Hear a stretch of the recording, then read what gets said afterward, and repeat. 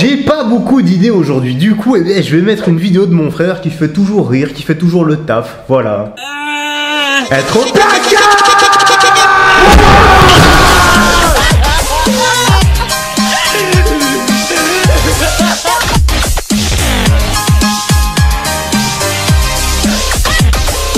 Et comment va YouTube, frérot Internet, la Justice League et les autres? J'espère que tu vas bien et que tout se passe pour le mieux pour toi. On se retrouve aujourd'hui pour une petite vidéo qu'on m'a demandé. Hein.